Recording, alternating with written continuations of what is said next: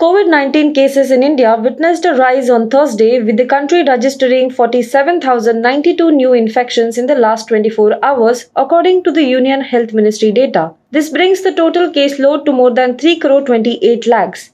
The last time cases were higher than this was 63 days ago on July 1st when India reported more than 48,000 cases. On Wednesday, 41,965 COVID 19 cases were recorded in the country.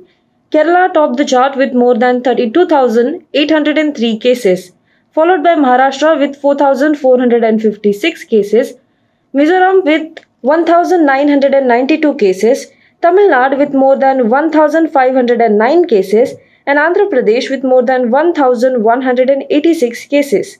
These five states reported 89.07% of the new cases. Kerala is alone responsible for 69.66% of the new cases. Former Rajya Sabha MP and senior journalist Chandan Mitra passed away on Wednesday night in Delhi, said his son Kushan Mitra. Mitra is survived by his wife and two sons. Chandan Mitra was a nominated member of the Rajya Sabha from August 2003 to 2009. In June 2010, the BJP got him elected to Rajya Sabha from Madhya Pradesh. His term ended in 2016. In 2018, he joined the Trinamool Congress.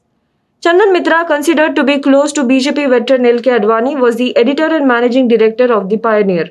Prime Minister Narendra Modi said that Chandan Mitra would be remembered for his intellect and insights. Kashmiri separatist leader Syed Ali Shah Gilani died at his Hyderpora residence in Srinagar at 10:35 p.m. on Wednesday night. He was 91 years old. Due to his ill health, he had kept a low profile for the last few years. His family wants him to be buried at Hyderpora in Srinagar. He is survived by three children, two sons and a daughter. Residents have claimed that there is a security clampdown in Kashmir after news of Gilani's death emerged.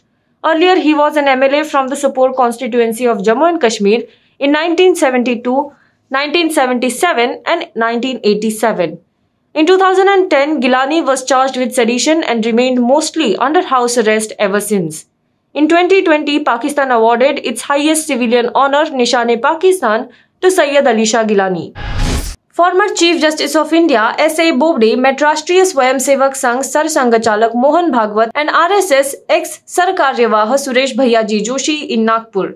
According to sources, the former CJI went straight to the RSS headquarters on Tuesday after visiting the residence of Sangh founder Dr. K.B. Hedgewar. However, no one from the Sangh has officially confirmed anything about Justice Bobde's meeting with Mohan Bhagwat and Bhaiyaji Joshi. During his Nagpur tour, Justice Bobde was accompanied by his classmate Professor Hemant Jambhekar. He said that former CJI's years-old house in Nagpur needed renovation, and that is why he had to see how Dr. Hedgewar's old house had been preserved. Mumbai Police has formed a special 13 squad ahead of the Ganpati festival and has been entrusted with the task of ensuring people follow COVID protocols. The squad will take action against people who don't wear mask and don't follow COVID-19 guidelines. Starting from Thursday, Mumbai Police will start taking action against people who don't wear mask and violate other COVID-19 norms. Mumbai Police has also urged Ganpati Mandals to promote online darshan for devotees. However, if any devotee is physically going to the mandal, a token system and scheduling should be in place to avoid crowding.